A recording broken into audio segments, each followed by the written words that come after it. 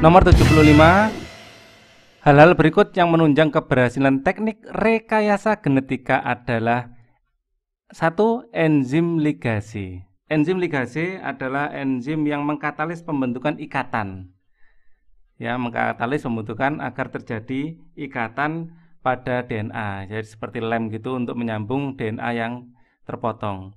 Nah, satu benar, e, tiga juga benar enzim endoklase endonuklease restriksi adalah untuk memotong. Nah, ini kebalikannya.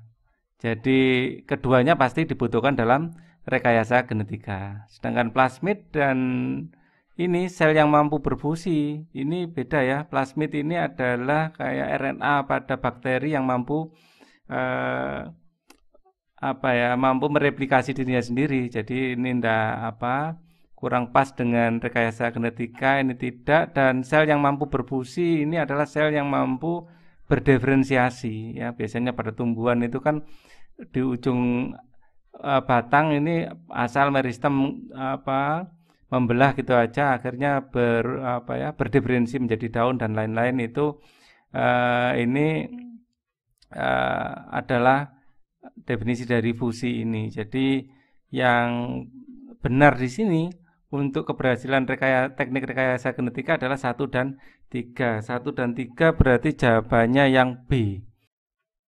Baik, ini adalah akhir dari pembahasan saya. Semoga kalian sukses dalam menempuh ujian mandiri. Amin Allahumma.